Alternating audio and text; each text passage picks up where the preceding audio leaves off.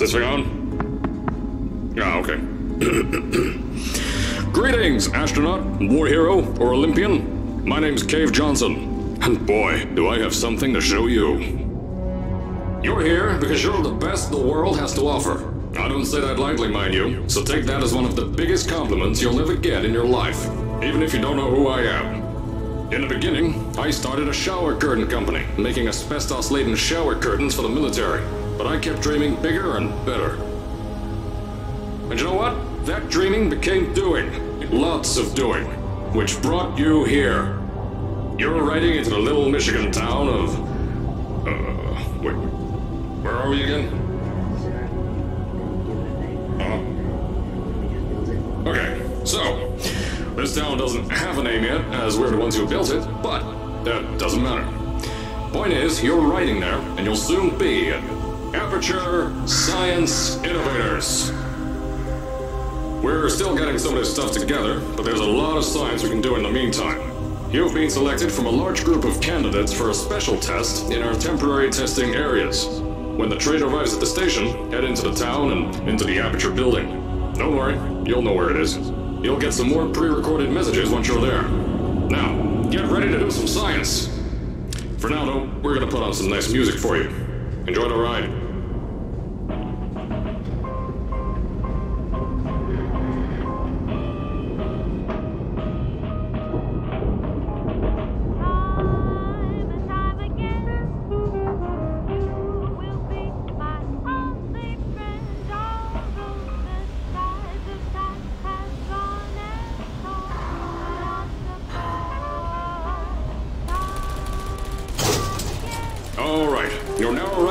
Central Station. Wait, Chris, here. How do you spell station? Okay, think about that for a second. Okay. Does station have an extra O before the I? All right, listen to me. Pack your things. Because you're fired. Get out of my office. Out. Get out. Out of my office.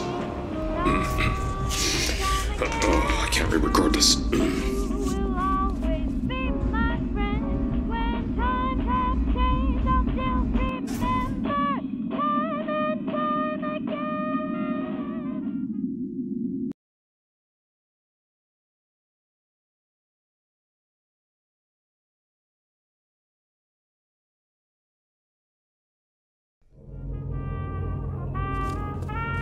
Now, as I said before, there's a lot we're still working on. Just watch your step on the way out, and as a reminder, Aperture Science Innovators is not responsible for any injury you sustain, up to and including death by exposure to cosmic ray spallation. Don't worry, though, we haven't had an accident like that in three days. Uh, sorry. Make that three minutes.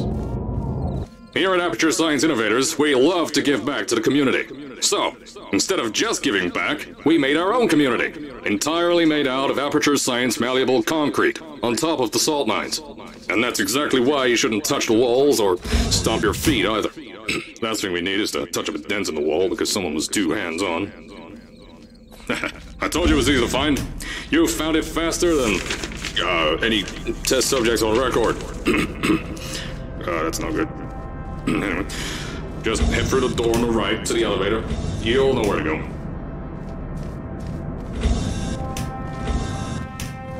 So, at first, I wanted to put in a long flight of stairs that spiraled down through the old salt mines down here. Give the test subjects a great view of the place. But no! The zoning boards on my bean counters said that's why they invented elevators. So, when someone in a wheelchair threatened to sue, my former boys chickened out of me and built this elevator to go to our temporary offices. Um, I'm still working on those stairs, and those guys are working on getting new jobs. Seriously though, the stairs aren't ready, so get on that stupid elevator.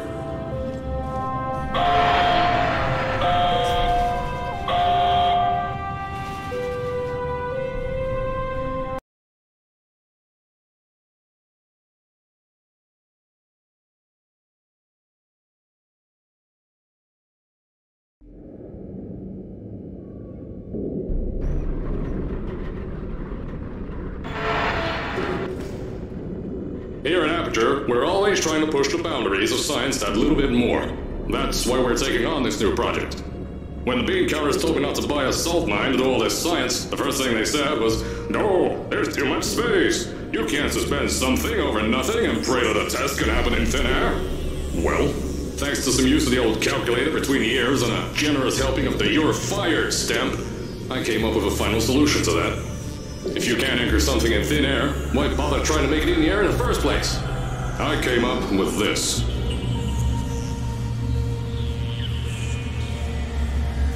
Introducing the Aperture Science Innovators Suspended Testing Sphere.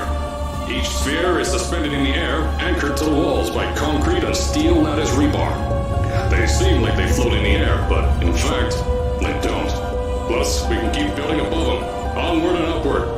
This salt mine here can take at least 10 of these bad boys per shaft.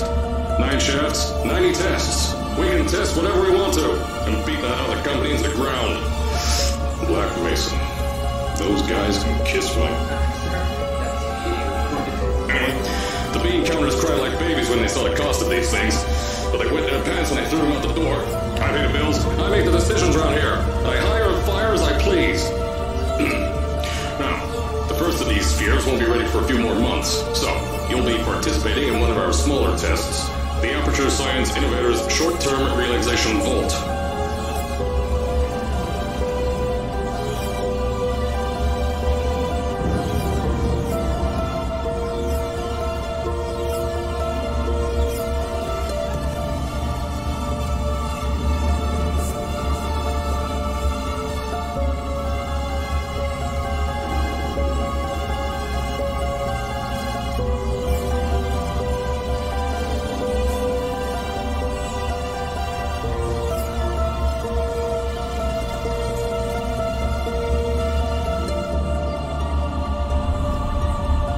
When you get to the offices, I'll tell you a bit more.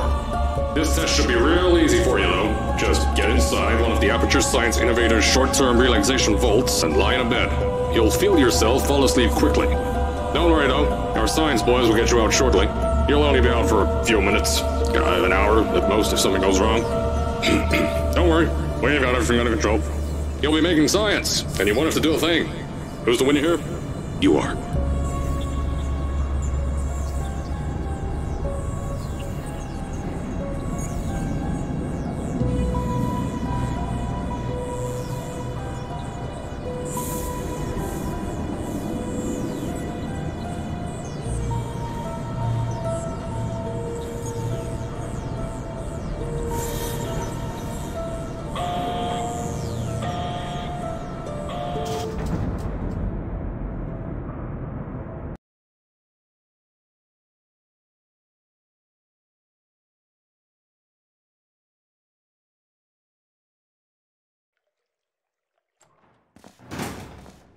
So, as I said on the last pre recorded message, you'll be heading into an Aperture Science Innovators short term relaxation vault for a quick, deep sleep. And then you're done. That's why we brought you here at night.